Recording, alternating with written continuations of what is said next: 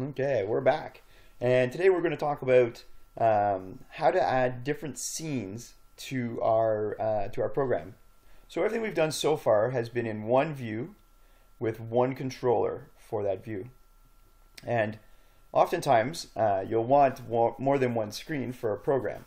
So what we're going to do is we're going to add in a button to our program and that'll allow us to change the scene. So here's what we've built out so far. Um, you know, we've, we've added in check boxes and choice boxes and combo boxes and all these great things. What I want to do is I'm going to add in a little button to the bottom here.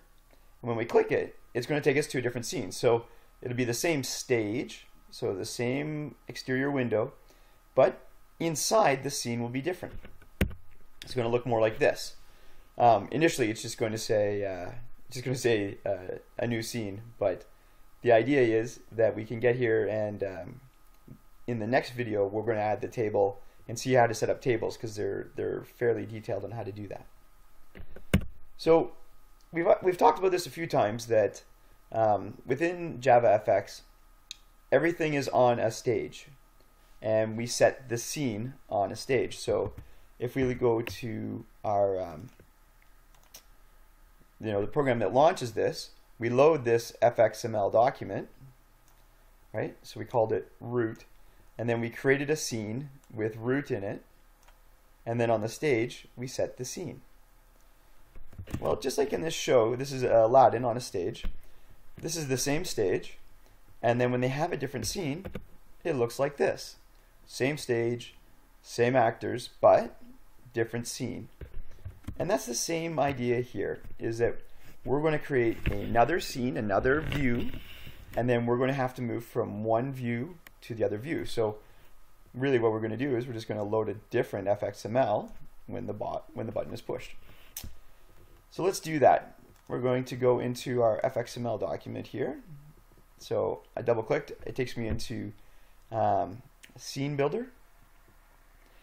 So I said in scene builder what I want to do is I want to add in a button. So um, hmm, where interesting. Looks like it got a little compressed there. Okay, so let's add in a button to go to the other window. Now here I have um, an H-box, so I'm going to put the button into my H-box, which means it nicely spaces it, but it kind of puts it where I don't want it. I really want it down here. So what I'm going to do is I'm actually going to put a different container in this area. I'm going to put in, um, I'm going to put in, let's do an anchor pane. Let's, uh, I'm going to expand my hierarchy here. So this is the H box at the end. I'm going to add in an anchor pane and then I drag my button into that anchor pane and now I can put the button wherever I want and let's say uh, go to a table view. Okay. And keep all these consistent. Layout.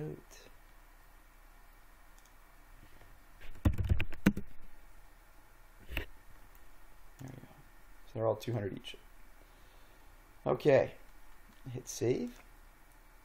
Now, what we're to have to do is design another view that we can hook this button up to. So let's go back into NetBeans here. And I'm to right click on my project. And I'm to say new, empty fxml. And I'm going to call this the table exam. Uh, yeah, let's do table view example view. It's kind of a mouthful, isn't it? Nah, maybe we'll just call it table.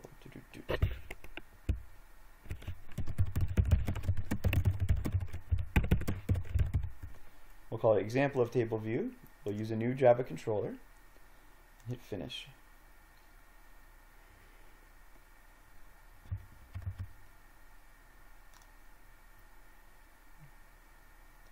And I'm going to go into that, that view. I'm going to launch it in Scene Builder. And you see it, it brings up a separate Scene Builder. So in here, um, let's just do put in, make this a little bigger.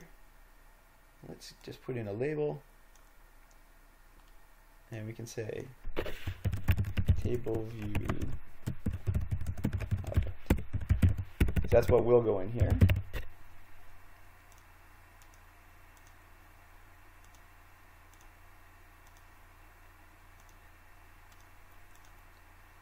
We'll hit save. And let, you know, let's add a button to this down here. And we'll say uh, go back to GUI objects view.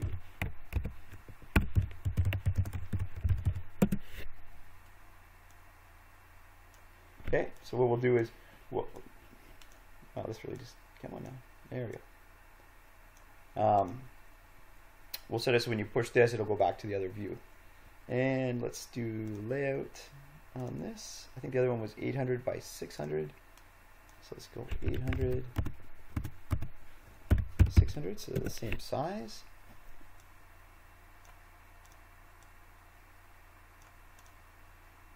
Let's save. Okay. So, first things first, let's go to our, this is our controller for the original uh, GUI. Okay, so we had in all of our stuff for the pizzas and combo boxes and favorite programming languages and golf stuff. Um, so what we need to do in here is we need to add in a method. excuse me.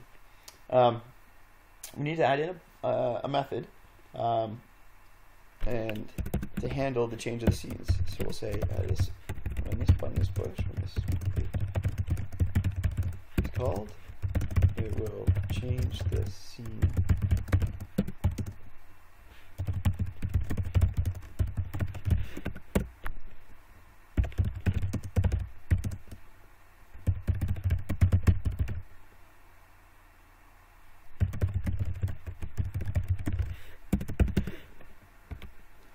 And what we're going to do is we're going to say action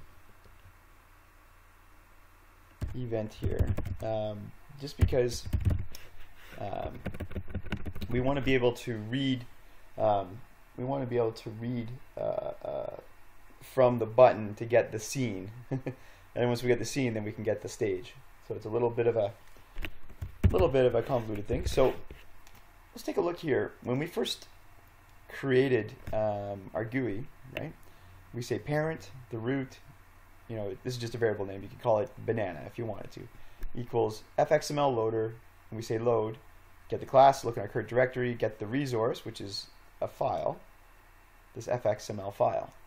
And then we set the scene, and then on the stage, which got passed in, we set the scene. Now in this case, we don't actually have access to that stage information directly. So we need to set that up.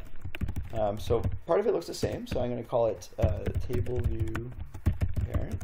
Instead of calling it root, I'm calling it table view parent. And we'll say fxml loader. So same as before, load,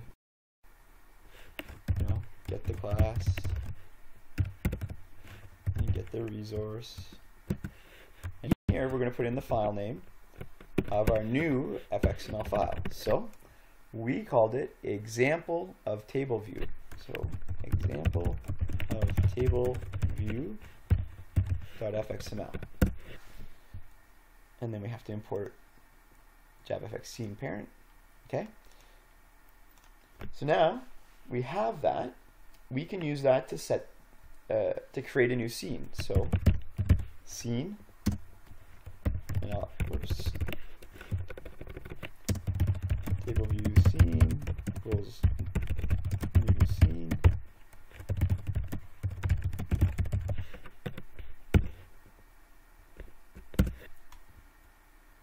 Bring in our imports. And you can see it's underlined over here. And it says we have an unreported exception, an IO exception. IO exceptions happen when there's an input output. Uh, so basically, if you're reading something from a file system, um, there's a potential that we've got a typo in here or that uh, um, the file has some, you know, maybe the permissions aren't set correctly. There's all kinds of things that could go wrong. So it, it can throw an exception. So rather than put this inside of a try catch, I'm going to do the same thing because if this is um, if something goes wrong here, I want to know it. I don't want to catch it, right? So we're going to add this throws IO exception. Okay. So that's the scene. And here's what's new.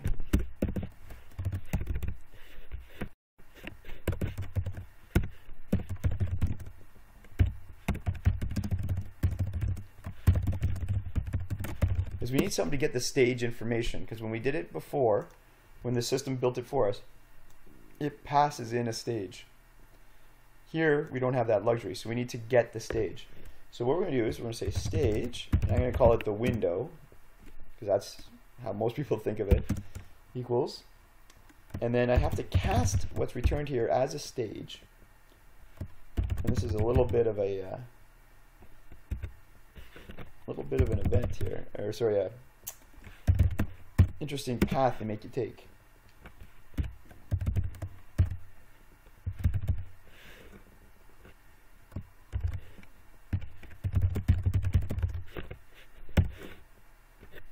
Okay, so let's add in our imports.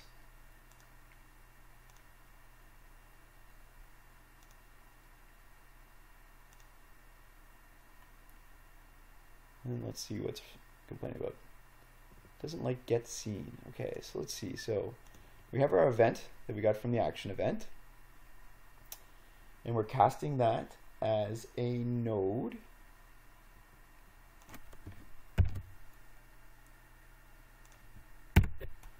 There we go. So with an action event, when you say get source, it doesn't actually know what's returned. It knows it's a type of object. So what we're saying is make it a node type object. And then because it's a node object, you can get the scene and you can get the window. And because we now have the stage or window, we're going to formally cast it as a type to be a stage, which is what is expecting.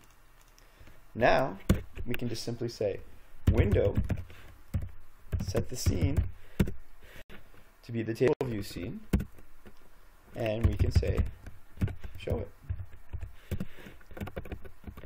Okay, so hit save. And let's try running this.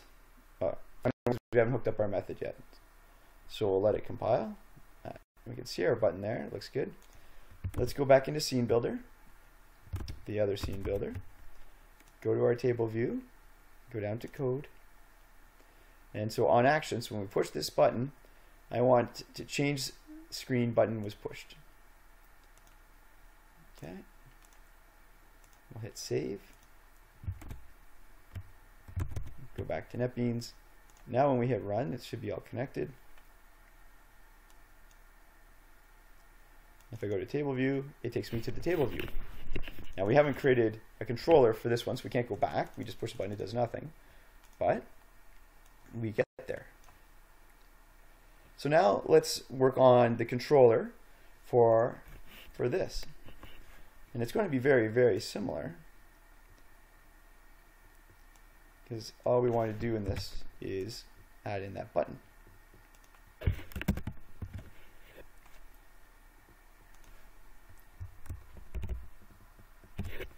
Make it nice and big for you to see.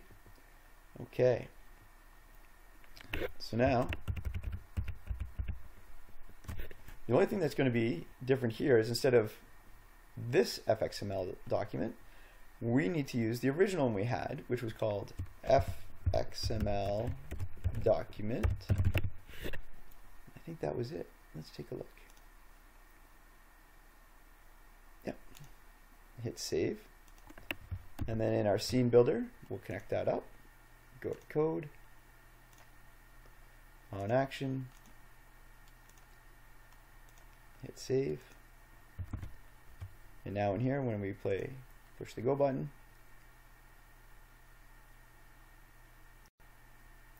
I go to my table view. I'm in my table view. I can go back to my GUI view. So now I can go back and forth between them. And that's it for this video. Hope you enjoyed it. Take care.